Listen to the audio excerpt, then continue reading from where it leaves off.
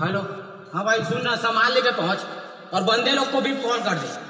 अरे लड़के लोग घुस गए हैं बंदे लोग को कॉल कर दे। हम लोगों का मम्मी पापा जानते जो करना है कर लो। तू बेबी पहले जा जा जा, जा।